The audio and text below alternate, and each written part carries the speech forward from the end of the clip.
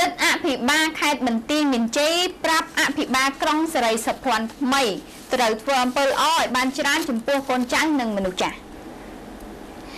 ថ្លែងក្នុងពិធីប្រកាសចូលកាន់មុខតំណែងអភិបាលក្រុងសេរីសុភ័ណ្ឌថ្មីកាលពីល្ងាចថ្ងៃម្សិលមិញឯកឧត្តមកោសុំសារៀតអតីតអភិបាលខេត្តបន្ទាយមានជ័យបានផ្ដាំផ្ញើចំពោះលោកវៃកេងលីអ ភិបាលក្រុងសេរីសុភ័ណ្ឌថ្មីមុនពេលដែលលោកវិលទៅកាន់តំណែងជារដ្ឋលេខាធិការវិញធ្វើយ៉ាងណាធ្វើអំពើល្អចំពោះកូនចៅនិងមនុស្សចាស់ឲ្យបានច្រើនក្រៅពីការផ្ដាំផ្ញើខាងលើឯកឧត្តមកោសុំសារឿតក៏បានដាស់តឿនដល់អភិបាលក្រុងសេរីសុភ័ណ្ឌថ្មីត្រូវយកចិត្តទុកដាក់លើអនាម័យក្រុង និងរួមសហការជាមួយនឹងមន្ទីរពាក់ព័ន្ធធ្វើយ៉ាងណាឲ្យទីក្រុងស្អាតព្រោះក្នុងមួយថ្ងៃមួយថ្ងៃខេត្តបន្ទាយមានជ័យមានភ្ញៀវទេសចរឆ្លងកាត់ពី2ទៅ3000នាក់ហើយកន្លងមកក្រុងសេរីសុភ័ណ្ឌក៏ធ្លាប់ទទួលបានរំដួលពីរតងផងដែរដូចនេះធ្វើយ៉ាងណាកុំឲ្យរំដួលពីរតងធ្លាក់មកនៅមួយតងគួរតែទទួលបាន3តង